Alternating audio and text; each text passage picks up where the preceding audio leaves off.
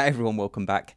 Today we're going to look at another watch from Detroit Mint. This is a micro brand that I've always has a special place in my heart. I know the owner quite well, and I just think a lot of the designs that they do quite fun, quite playful, and they're usually inspired from films or vintage watches that I personally quite like as well. This watch that we're looking at today is the Detroit Mint Speedy. My last review for this brand covered the Cobra watch, a watch based on Dave the owner's love for the Ford versus Ferrari film. Prior to that, if you remember, I reviewed the Mach watch, which was a watch inspired by that classic citizen bullhead chronograph that Brad Pitt wore in another fantastic film, Once Upon a Time in Hollywood. The brushed gold version that Dave did of this was just awesome. I think he really captured the spirit of that vintage citizen, made it a quartz watch, refined the design, added that bund strap to it. He did a great job overall. One of my favourite watches that I think he's ever produced. This time, Dave is taking on another icon, vintage Seiko chronographs from the 1960s and 70s. And the main inspiration for this model, although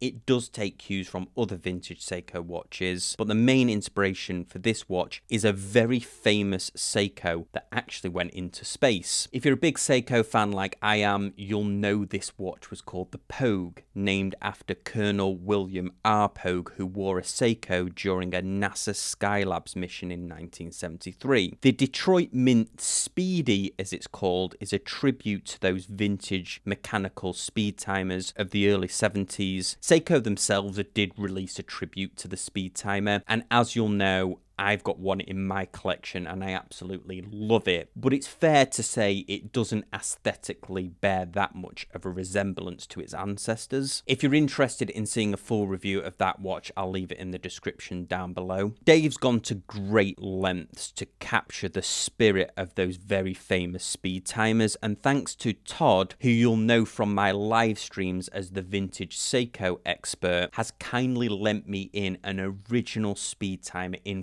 fantastic condition so we can compare and contrast the two models together. There are a number of visual cues between the two, but I think the Speedy is a very different watch, and we'll talk about that as we go through the review. I always love chatting to micro brand owners to find out the inspiration for their designs, and in chatting to Dave, I found out that he had a real love for those original speed timers, in particular the 6139 Pogue. Because he's a passionate collector as well as an owner of a micro brand, brand, he participates in a lot of online forums, and he was finding that people were asking whether there had ever been a homage to the speed timer or Seiko had ever reproduced it.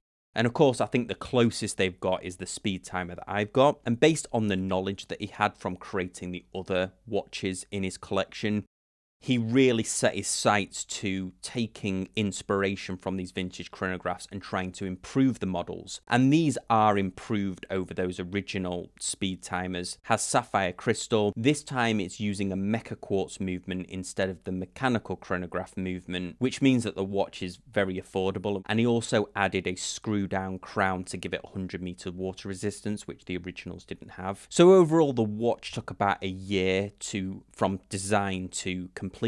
And during that time, he got a lot of feedback from the Seiko collecting community and he fed that back into the overall design of the watch. So, this watch that we're looking at now is the last of the prototypes. So, there's still a little bit of refinement around the bracelet, which to be honest, I think it needs. But this is as close to the production model as we're going to see. The Speedy, as it's called, and to be honest, that name is still not sitting with me right because the Speedy is commonly used in association with the Omega Speedmaster. But I imagine that if David straight up called it a speed timer, then he would have probably got into some legal trouble with Seiko. So I guess the Speedy is what the name of the watch will be. The Speedy uses a Mecha Quartz movement to capture the feel of vintage chronographs, as Mecha Quartz has that sweeping second hand. It also has the all the advantages with having a battery powered quartz movement in there. It's accurate, reliable, don't have to regularly service the watch. Also allows the price to be kept at a very reasonable $220. This version is the blue dial version. It's also available in silver, black, and most historically iconic, I think, is the gold dial version. I really like how Dave plays with gold with a lot of his other models that he produces as well, like the Mach that we talked about before, where he used gold brushing for the case that I think really captured that design even more surprisingly than the the polished gold case which would be more film accurate to the once upon a time in hollywood movie. So how is this watch going to wear? Well let's look at those case stats. We have a diameter of 40 millimeters a lug to lug of 45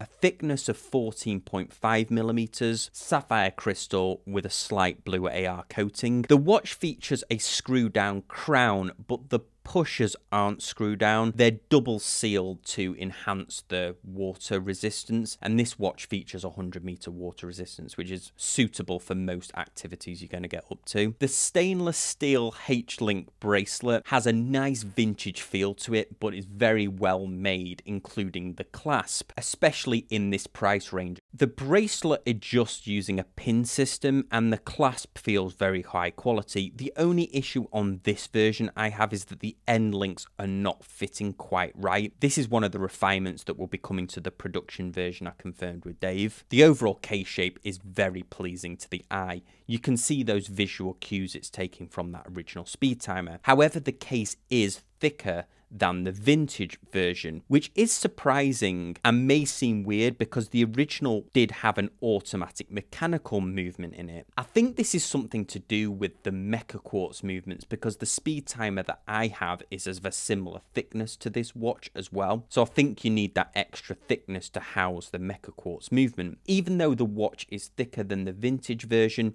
it's in keeping with modern watches and it fits my 7.2 inch wrist really well. I like the way the case is balanced and overall very pleasing to the eye.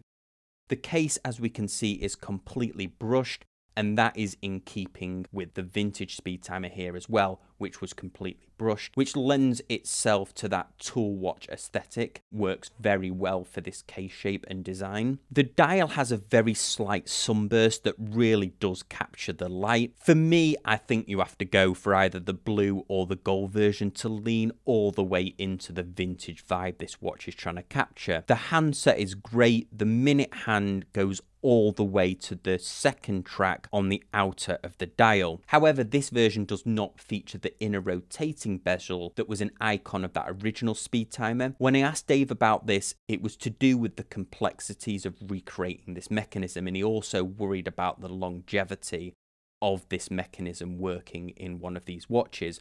It also would have taken a lot longer to produce this watch and also probably cost quite a bit. And to be honest, I don't think that it's missing that much by not having this inner rotating bezel. The minute track is on the rehaut, very visible, and we also have that tachymeter on the outer bezel, which really allows precise chronograph measurement of time using that very distinctive red second hand. I like the way that this red second hand also complements the red on the subdials as well. Now you're not going to get Seiko levels of lume on this watch, but it is enough to get by. The highlight for me is the dial layout, some nice little details the framing around the date window, the placement of the subdials, distinctive watch in its own right, even if you're not familiar with those vintage Seiko chronographs. And I personally think that most collectors are more familiar with vintage Seiko divers than they are perhaps with the chronograph versions, because the chronograph versions